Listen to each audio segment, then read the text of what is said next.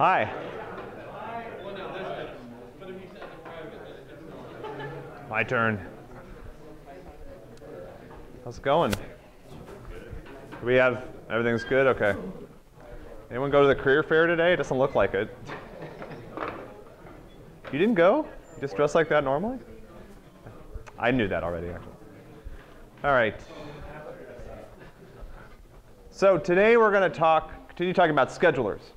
Um, we'll have some examples of very simple schedulers, and then we'll talk about some slightly more complex schedulers. You probably don't care that much about operating system scheduling. How many people really care about operating system scheduling? Are you just trying to make me feel good? Uh, um, anyway, so, but think of it this way. This is a algorithm design problem. Scheduling is, we've talked about these scheduling algorithms, it's, it's an algorithm. So this is kind of an exercise that you can use with slight variations to think about how you would approach other problems. Can I talk and you guys listen? Thanks. Um, so what are the inputs you have? How does the algorithm work? Trade-offs involving the complexity of the algorithm and runtime versus how much better the solutions are going to be, uh, stuff like that. So that's, that's my way of trying to get you to pay attention. OK, assignment two. Uh, at this point, I'm hoping you guys have like polished off a couple of extra system calls. How many people have polished off a couple of system calls? A couple of the file systems. OK, good. Um, yeah, so hopefully at this point you're kind of like rolling towards the end of the file system portion of the assignment. Um, it's been pretty quiet on the forum. I don't know why. Do you guys not? Why don't you guys post on the forum? Do you guys not like the forum? question, quick question about assignment two. Do we also need to implement like sys underscore chdir and? It's pretty easy. Okay. Yeah. But that's part of it. Yeah. Okay. Wait, you didn't answer my question though. Why aren't? Why don't people post on the forum? Have I been yelling at people on the forum too much? No, because I'm trying to be nicer this year, right? And someone the other day told me I wasn't succeeding. so I'm just trying to get some feedback. um, so yeah, okay, I won't yell at you on the forum. We might like tell you to search the forum first or whatever. But I'm not yelling. I never yell. Never use all caps. Sa save that for other people. Um, all right. Yeah, so the forum's quiet. I guess people are in office hours, which is good. Uh, but you know, please keep I think what's happened is people haven't quite got to exec in some of the other system calls that are a little harder yet. That's OK. We have a couple weeks left. Any questions about this stuff? So the plan is assignment two is going to get you to spring break. By the way, if you haven't noticed, the assignment two deadline is right before spring break. So if you plan on piecing out early to go do whatever you're going to go piece out and do, uh, you have a few fewer days on assignment two. Oops, sorry. Um, Anyway, so we get there, come back from break, we have a midterm exam, and then uh, we go on with assignment three. So, all right, great. So, last time we talked about scheduling, and just as a brief review, scheduling is the process of choosing what thread will run, given multiple options. So, in order for us to have a scheduling problem, going back to our thread states, what has to be true about the system? In order to make a scheduling decision, there's a couple of things that have to be there's one thing that has to be true. Yeah. Threads, a lot of threads ready, but all the cores are full. So you want to choose which is coming out. Close. Yeah, I mean, I, I, I need more threads that I can run than cores that I have to run them. If I don't have more, then I just run all of them. And that's a nice problem to have. Um, I have to do this because I'm in charge of the system. The operating system is in charge of the system.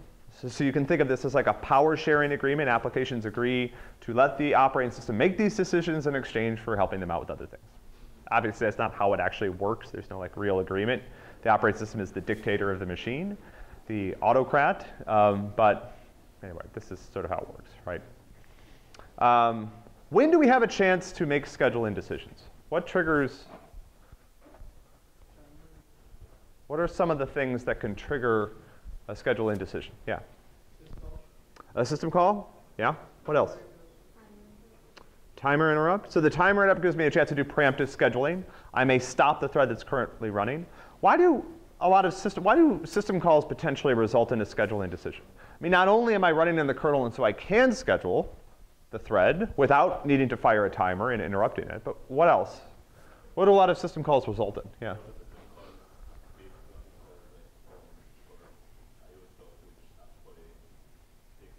Yeah, if you think about your read and write calls that you guys are writing, those I/O operations that are wrapped in there take a while, like a long time in CPU, CPU time.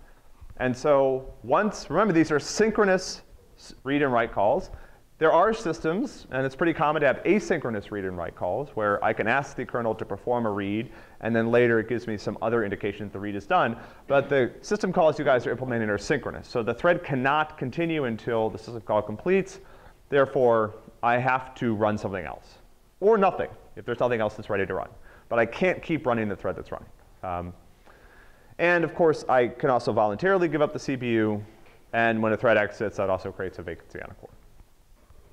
All right. Um, we talked a little bit about the types of things that uh, interactive user-facing schedulers have to be good at to maintain, um, to maintain usability. These are things that you guys notice. Um, and these are associated with different types of, of behavior of your computer.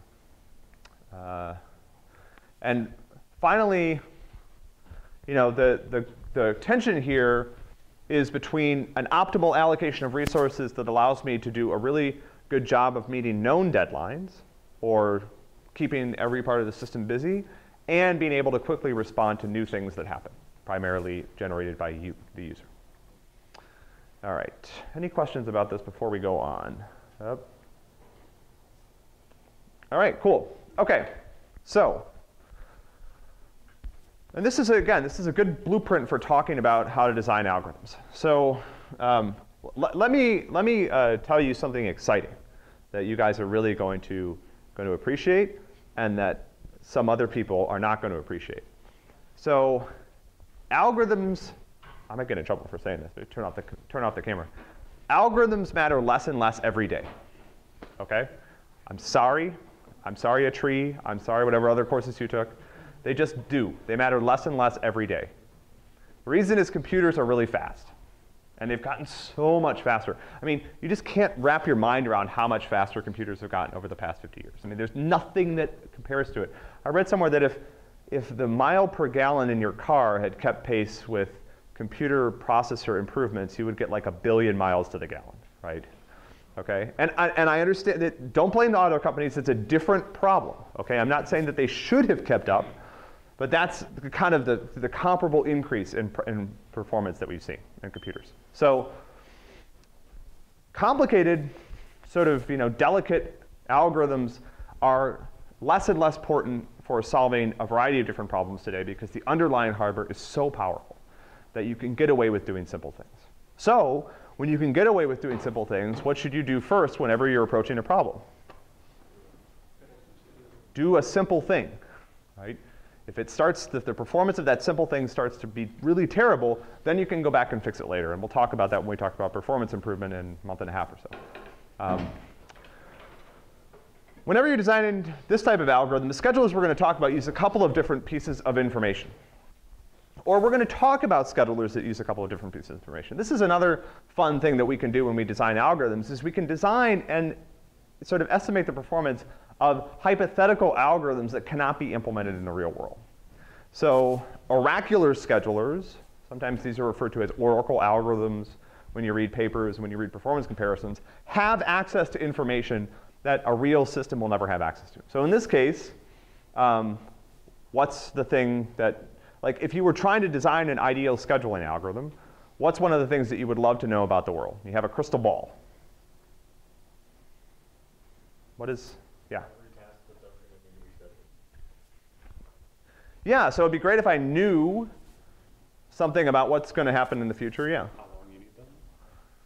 Yeah, and, and like when the user is going to stop using them. So, so really, the Oracle schedulers, what they want to know is what's going to happen next. Are you suddenly going to start using a new application? Is a huge torrent of requests going to suddenly come to this web API for some reason?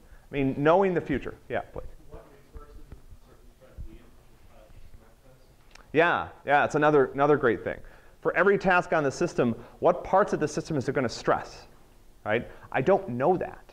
I, I, can you know, have some ways of estimating that, but fundamentally when I'm running instructions, you know, information from the outside world comes in and sometimes the task takes one code path and sometimes the task takes another code path and its behavior may be highly unpredictable, right? So these are the things that I would like to know.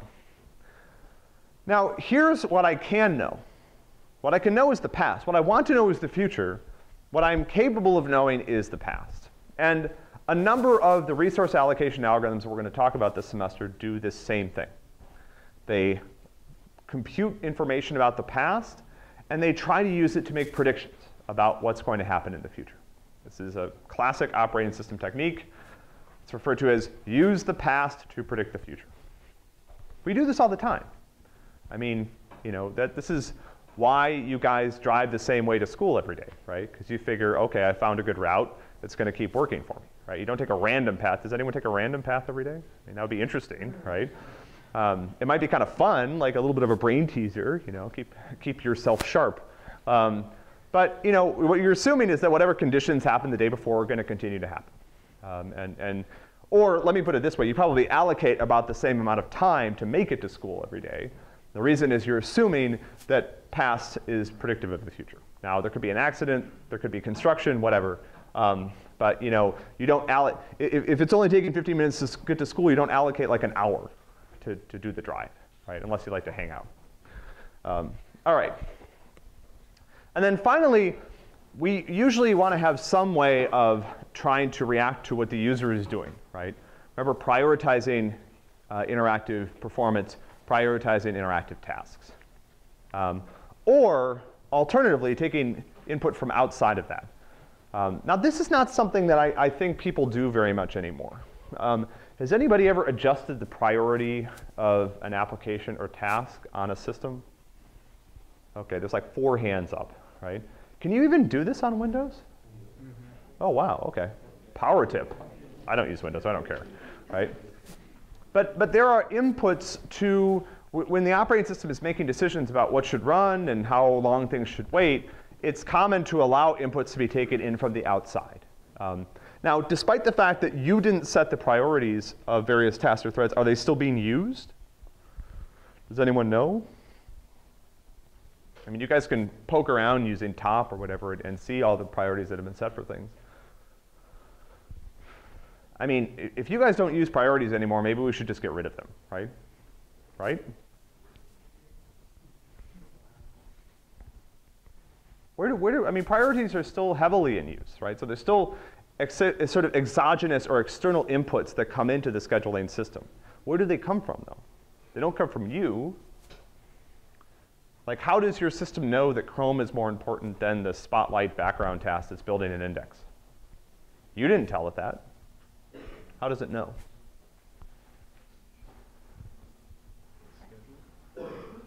Yeah.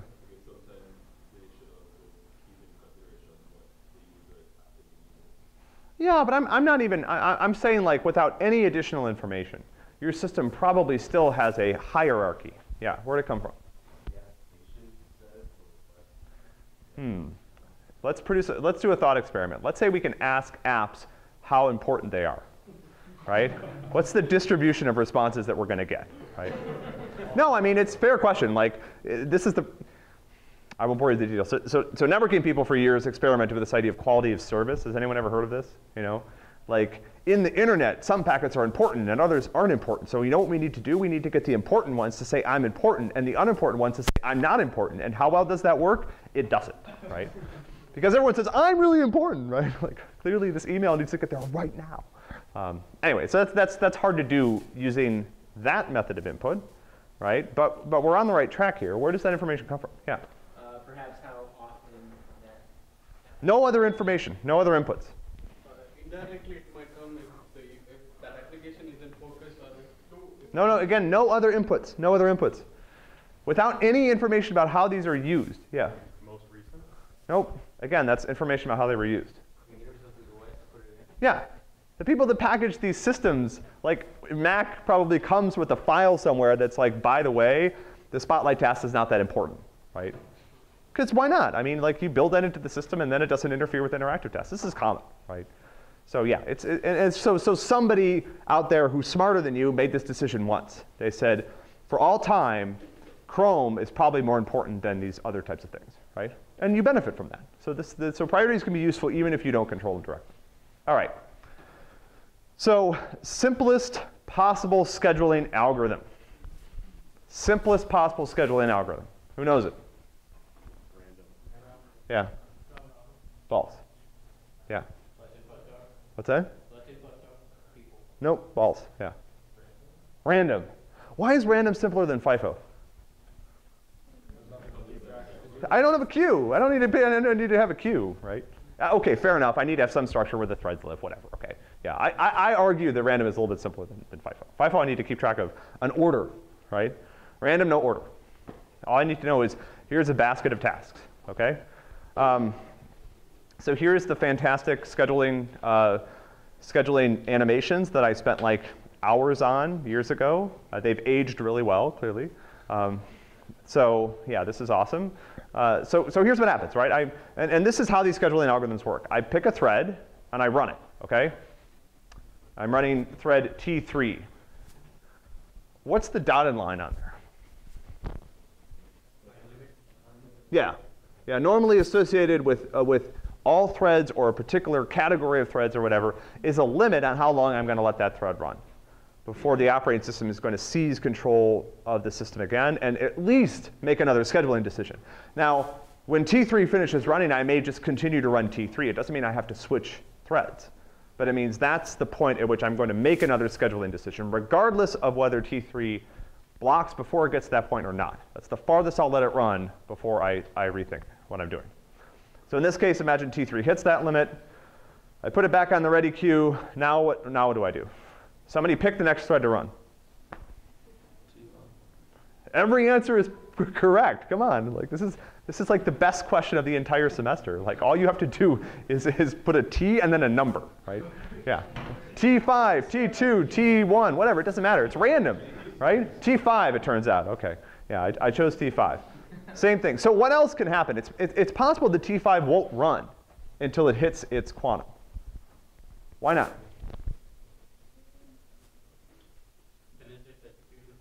It could have exited. That's true. Yeah, what else? It waits for something. So in that case, where does it go? Well, actually, this is a great question. At this point, where could T5 end up? It could end up in the waiting queue if it blocked. But it could also end up back on the ready queue. How? Remember, there's this weird little corner case. Yield. If I call yield, I end up on the ready queue. I'm voluntarily asking to be descheduled. Uh, that doesn't happen very often, so what likely happens is the T5 is now waiting, and I just continue this process, right? T2 hits its quantum, it goes back on the ready queue. T4 goes into the waiting queue, and I think I, uh, did I have one that doesn't? Yeah, oh, there we go. Oh, okay. So now what happened here? So T1 ran, didn't quite finish, ends up on the waiting queue. What else happened? Yeah. The operating system realized that whatever T5 was waiting for, maybe some I.O. finished, um, happened. So now T5 is back on the ready queue, and off I go, right? This is not hard to understand. And in this case, look, yeah, T, T2 yielded. I knew I built that into the slide point. All right. So to order and implement this algorithm, I pick a scheduling quantum if I'm going to do preemptive scheduling. And then I pick threads at random, run them for up to qu that quantum, um, and then when, it when threads leave the waiting state, when I notice that what they're waiting for has happened, I put them back on the ready pile. A little bit of review from last week. What's the, what's the actual mechanism? What's a series of events that's going to move a thread from the waiting state to the ready state? What has to happen? Assume that I did like a disk read or something like that, right? So I tell the device, read this data. Here's a buffer that I want you to put the data in. I move the thread onto the waiting queue. And then what happens later? How does, how does the device tell me that it's done? Yeah, fires an interrupt. Right? So what would really probably happen here is that there'd be an interrupt that would happen somewhere during one of these time slices. The kernel runs, remember, when I process an interrupt, I jump into the kernel, start running code. The kernel realizes this is an interrupt from the disk. And then you know, the disk tells it I'm done with this particular I/O. The kernel takes the thread that was uh, waiting for that to finish, moves it back into the ready queue, and probably just exits at that point. It doesn't necessarily mean I have to make a new scheduling decision. All that's happened is the next time I reschedule threads, I find a new thread on the, wait, on the ready queue that is now able to run again. All right, good. Okay, and then round robin scheduling, you know, you can think of basically this as a small variation on random where I maintain an ordered queue when, you know, as long as everything in the ready queue is the same, I'm just running things from the ready queue. Um, if things block, I put them on a waiting queue. There's, um, there's, a, there's a design decision here. So let's say that something finishes waiting. What can I do with it? I could put it to the back, or I could put it. In the same order. I could try to put it back in the same order. That would be kind of tough because I have fluctuating membership, so it's not clear what order means, right? Um, or I could put it in the front, right? I could say, oh, it's been waiting, it should run right away, right? So I have a little bit of a choice here about where to put things. In this case, we're going to, um, well, I don't even answer this question here. Yeah, but you could do, you could do both. Right, I'm just cycling through things in order. All right? Okay.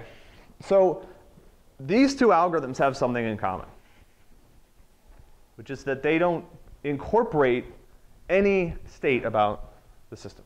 All they do is process the ready queue. To the degree that there's additional mechanisms in the operating system to move things from the waiting queue to the ready queue and onto the waiting queue, this, this, um, these algorithms, they don't even know anything about the waiting queue, right? All they know is at some point they'll get called and they pick from the, from the ready queue. The waiting queue in those slides is designed to help you understand what, what's happening. But really, all that's going to happen to this algorithm is it's going to be like, here's a bunch of threads, pick one to run. Here's a bunch of threads, pick one to run. Here's a bunch of threads, pick one to run. And the membership in that group is handled by other parts of the, of the system, right? Um, they don't, so they don't use any information about the past, and they don't try to predict anything about the future. They don't accept any sort of priorities or user input, although you can imagine ways to do that. Um, and these are rarely, okay, so these algorithms are useful for a couple things, right? One is if you need to implement scheduling algorithms as part of an assignment, um, which I think we used to make you do, but I think we finally got rid of that because there was no way to test it. So, um, so that's one thing they're useful for. Um, but there's another really, really useful thing about simple algorithms like this, right? They don't take a lot of time. They're going to work. You're going to look at it and you're going to be like, is that really the best I can do? I took this whole course on algorithms and I'm like, I have a whole book that's that thick on my desk, you know? And I just like, wouldn't it be fun to spend a couple months of my life trying to implement a better algorithm? Um, even though I can implement a random scheduling algorithm in, in 10 minutes. Um, but these algorithms are extremely useful as a baseline for other things that you might try to do, right? Um, there is one place, and we'll talk about this on Friday, where, where, round robin sometimes gets used, or random can sometimes be used. And that's when the scheduling algorithm has reached a point where it has a bunch of threads that are considered equivalent. So imagine there's 10 other things that I'm using to figure out which threads are important, what should run right now, and how do I maintain good interactive performance. But at some point, I hit a dead end and I've still got three threads left that as far as my algorithm is concerned are undistinguishable. In that case, I can just use round robin or random or whatever, just, just to make these, to sort of to break ties. Okay. Now, so we, we sort of this before. We talked a little bit about, yeah, sorry. So in none of the situations will you consider the priority of the thread? You, you could. Like, the algorithms that we've presented do not, right? They don't consider anything, right? How would I, um, what's a way that I could use random, what's a way that I could consider priorities in random scheduling? This is an interesting question. Let's say I want to modify my random approach to respect something about the priorities between different threads. So I want there to be able to be important threads and unimportant threads, and maybe medium important threads. How could I do that? Yeah. Yeah. So imagine I adjust everything so the probability, so, so the sum of all the, the sum of all the probabilities of the threads adds up to some number. I pick a random number within that range, and then I use that to figure out which thread runs. So if I want to, I can weight my random decision um, so that the threads that are more important have a higher chance of running. It's still random, right? Everybody still eventually, over time, will have a chance to run, but it's possible that one thread has a higher chance. Um, a- an- another easier way to think about this that I just blanked on for a minute is to think about a lottery, right? And there actually are lottery schedulers that people have implemented. So I give out tickets before the lottery. Important threads might get 100 tickets. An unimportant thread might get 10 tickets. And then I choose a winner from the tickets that are out there. Um, the number of tickets the thread has has an effect on its chance of winning the lottery. Okay. Things I might want to know about the thread in the future. How long is it going to run? Is it going to block or yield before it hits the end of the quantum? Um, how long will it wait once it does that? What else? Anything else? I mean, this is a very, very incomplete list. These are just some examples. What's a, what's a really useful piece of information that I might want to know about a thread?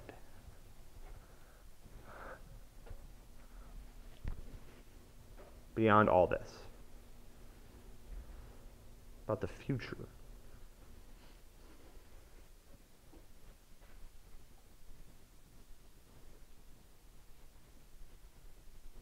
One other thing. Okay. Okay, that's a starting point for an answer. What, what, what might I be want, what might I want to be able to distinguish between? Yeah. Oh, interesting. Yeah. No more processes. I'm not running threads that are going to fork anymore. Yeah. So I might, yeah, I might want to know about the kind of resource uh, request it's going to make, right? But I'm thinking of something like really, really basic, particularly on an interactive system. Very, very basic, but very, very hard for the operating system to know. I've got 10 threads. You're using the device. What do I want to know? uh, which particular thread will be noticed or affecting the user. What are you waiting for? What, what is the thread that's going to cause something to happen that you are actively waiting for, right? You're waiting for the page, you're looking at a particular part of a web page and you're waiting for the image to load. And in the meantime, the operating system is like downloading updates to your apps and indexing your music collection and running broken, buggy JavaScript code from another tab or whatever. And you're just like, I just want to see that picture, right? It's like, I'll get there, you know, whatever. We'll, we'll get to that JPEG decoding in a minute. Um, that's just, you can, you can think about, you can imagine how hard of it of a question it actually is, right? Uh, but it's a cool one. Um, all right, it's a cute little, I, I, felt like it was time for a mem. It's been long enough, right? Um, okay, what? What did you say? I said it's time for a mem. It's been long enough, right? We haven't had a mem for a couple lectures. What? You don't say mem?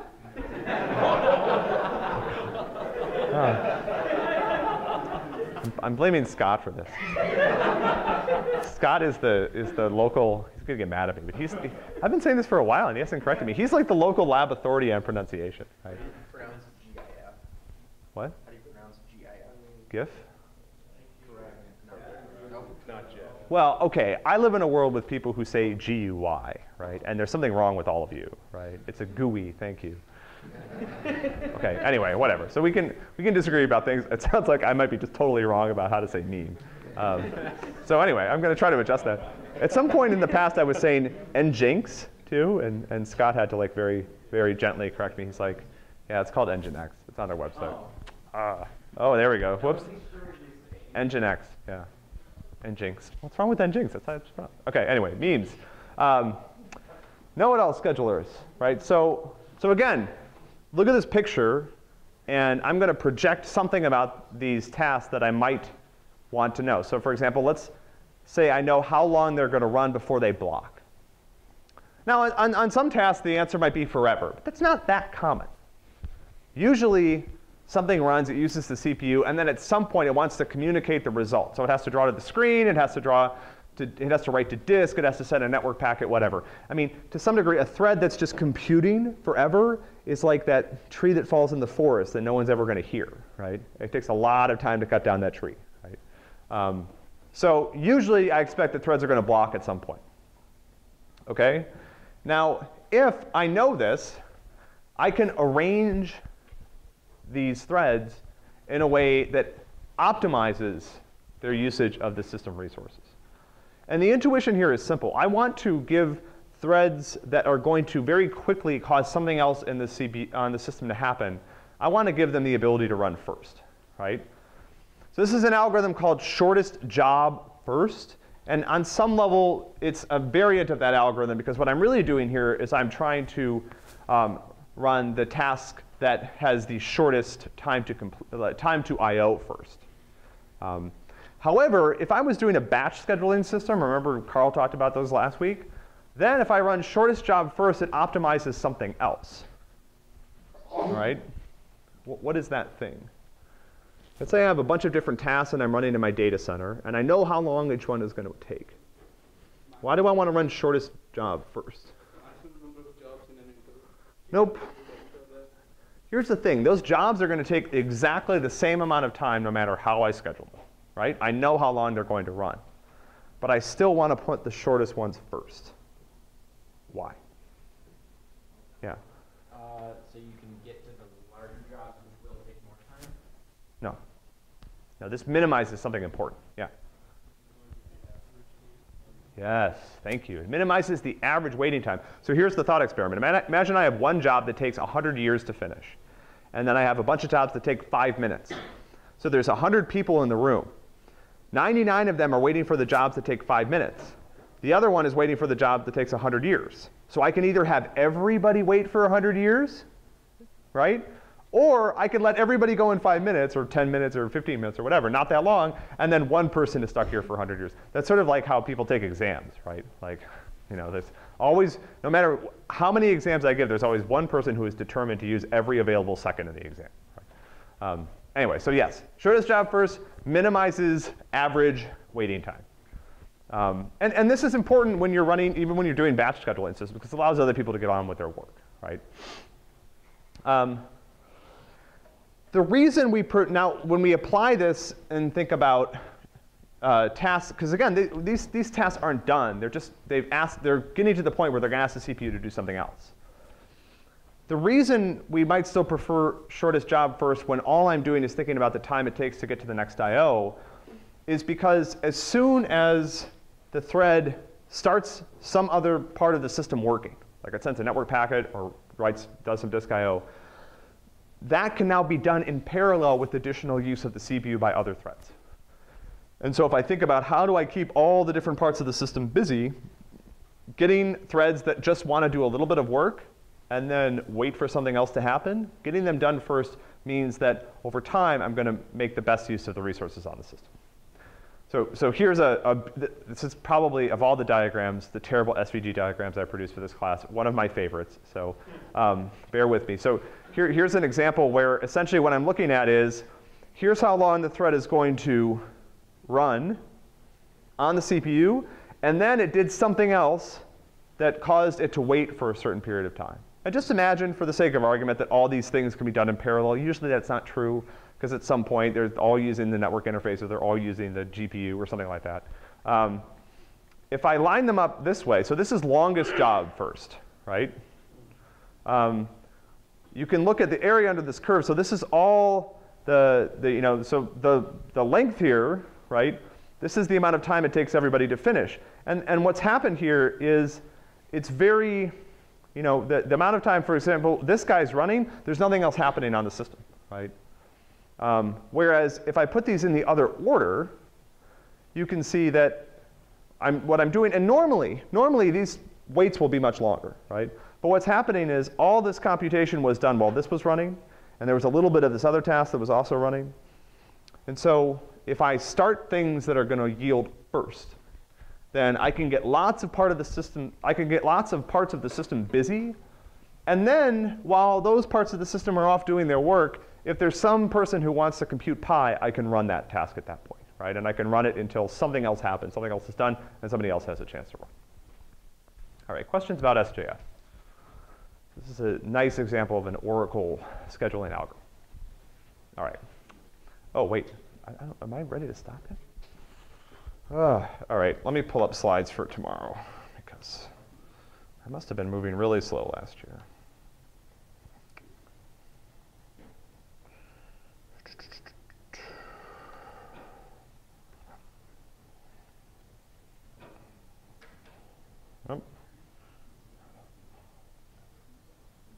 Here we go. Sorry about that. Should have loaded these in earlier. Oh, that's my.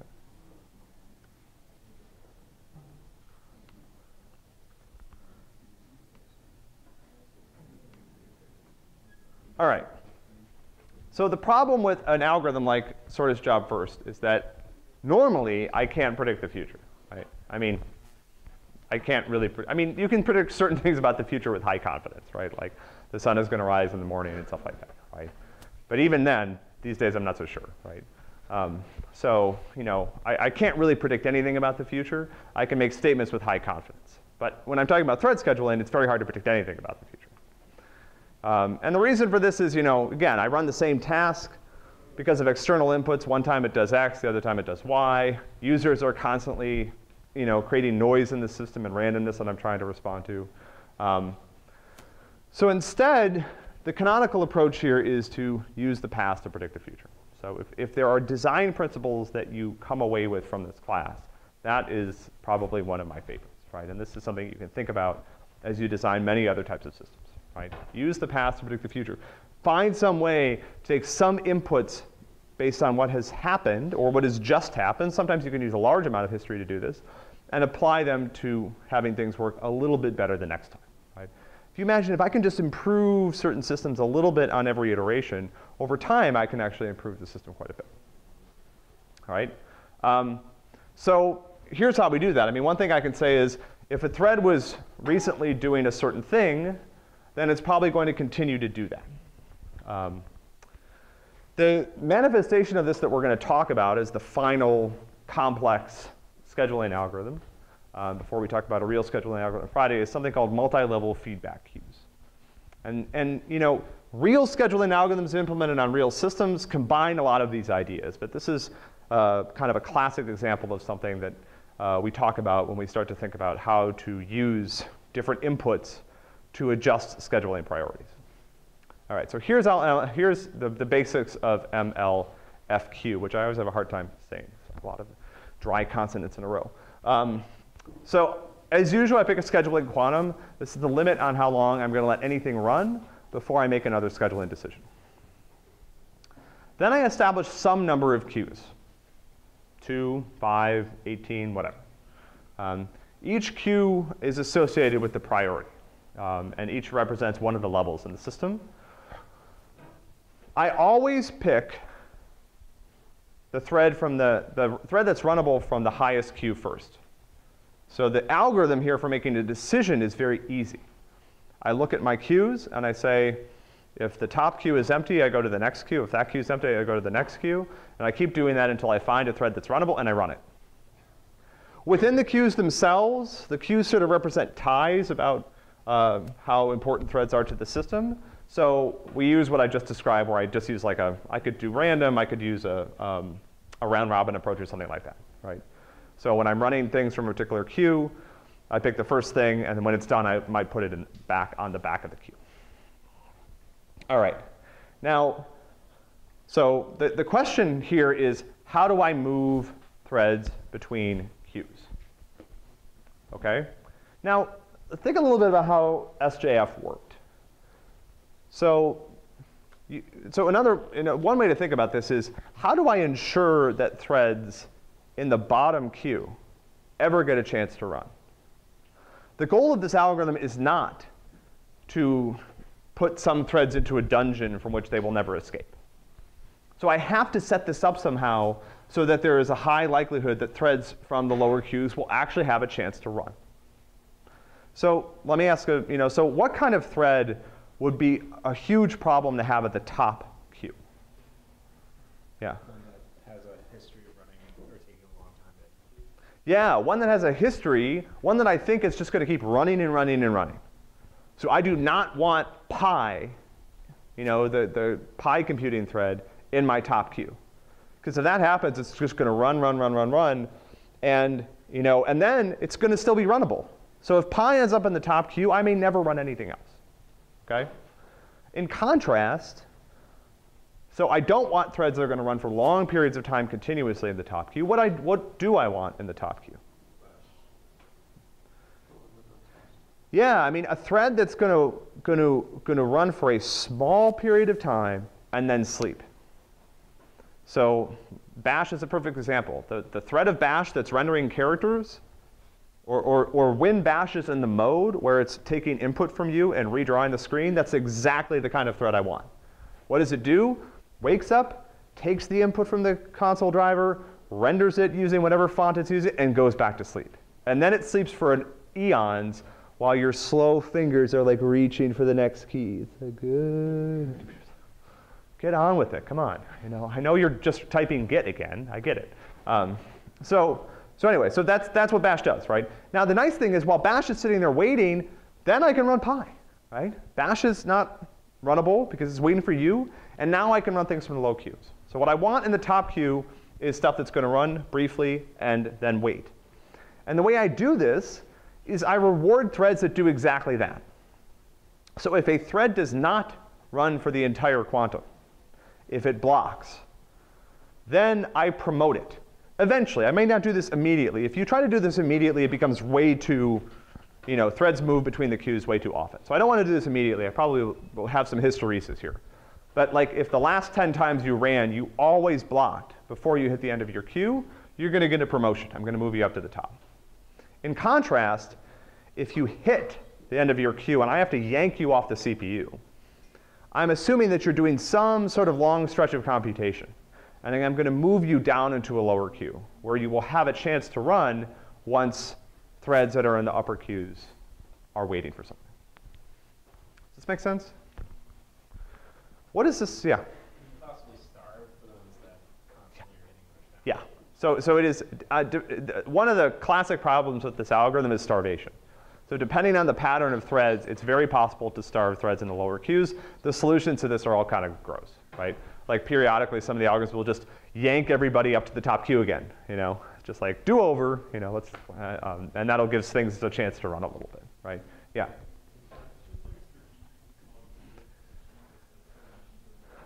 Well, re- remember, yeah, that's a great point. I mean, if I'm worried about that, I can always not reward yields as strongly, right? Now, I could certainly block, like do some IO, but at that point I'm waiting, so who cares, right?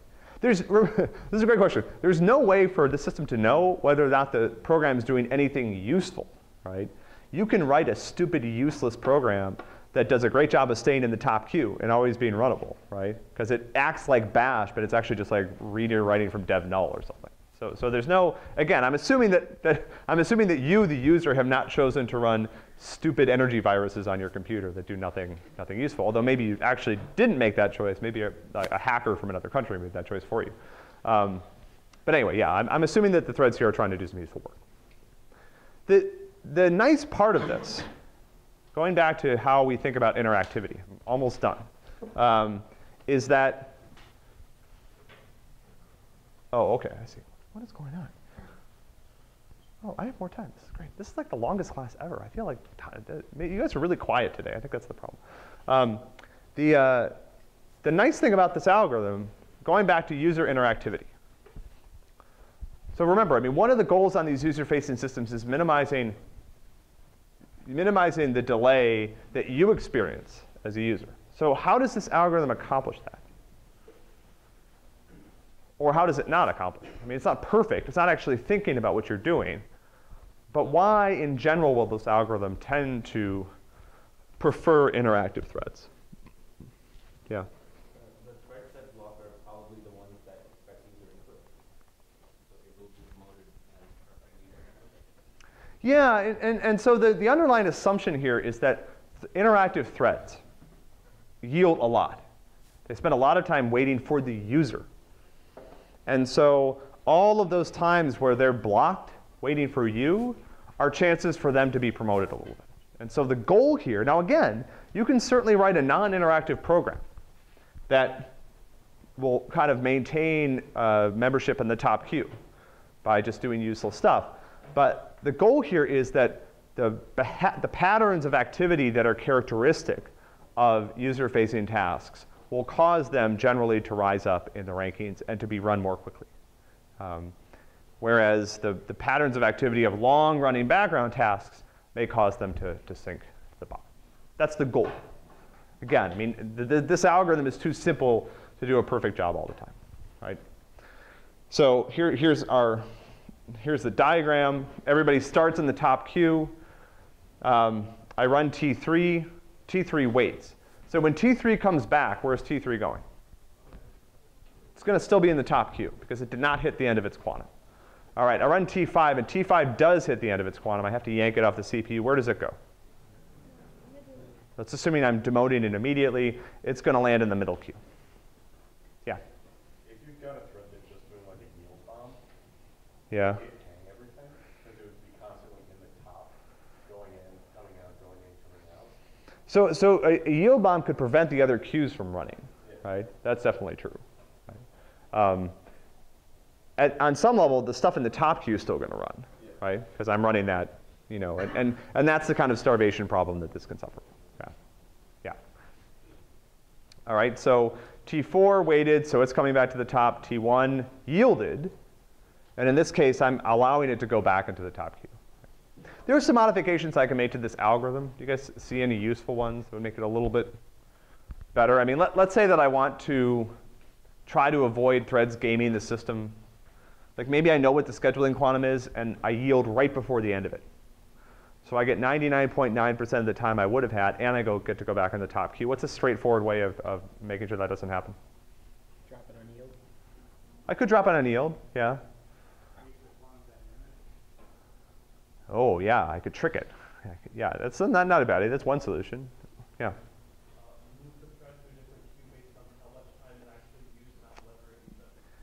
Yeah, I mean, really remember, what I want to do is I want to reward threads that, that do bursts of activity and then a lot of waiting. And so I don't have to reward anybody who finishes right before the end of the queue. I can maintain like a, a, a sort of a real priority that you lose points proportional to how much of the queue you've, you've used up, right? And so ideally, a thread that just does a very tiny amount of work and goes back to sleep, that thread has a large likelihood of continuing to stay at the top queue. Yeah. Um, if I run a process that takes a while, let's say like a compilation that takes 10 minutes, this algorithm doesn't distinguish that from something like an indexing background task, right? And both of them are just going to take a while, so both of them end up at the lowest, uh, like in the bottom queue? It's a good question. I'm trying to think of where make. Yeah, yeah, potentially. Yeah. So, so again, on its own, this type of algorithm is not perfect and not necessarily all that fantastic, right? Um, a lot of times, those types of problems are solved by just simply manually making sure that long-running background tasks that don't have a lot of input on interactivity have external priorities that are set low enough, right? Or sometimes I might say, okay, this was actually launched by the user rather than by the system, and therefore it has power, right? I mean, you know, scheduling is a fun problem because when you start to explore the space of possible inputs that you can accept into a system like this, right? Like, is the task being launched by a user who's actually logged in, right? So in a lot of cases, these background daemons run as other users on the system to make sure that they don't have elevated privileges. And so I can say anything that runs as cron just has very low priority, right? Yeah, so, so this is, this is interesting. All right, the rest of this is pretty obvious. Um, any questions about MLFQ? Right. So this is an example of a you know simple version of an algorithm that tries to use the thread's history to make decisions about how to improve a particular metric here. Right. And the metric, I'm, what I'm trying to do, if you think about, you might think about what is the goal of this algorithm. I'm trying to make sure that threads, interactive threads, don't have to wait very long before they run, because there's a high probability that the person who's waiting for them is you. All right. Uh, on so on Friday, I actually am done for today. On Friday, we will talk about the rotating staircase deadline scheduler. So um, hopefully you guys will come on Friday. I mean, I know it's Friday, so it's the usual Friday problems, but um, Friday's lecture is kind of fun. We'll talk a little bit about Linux. There's a story behind this lecture, um, and the algorithm itself is kind of cool. So I will see you guys then.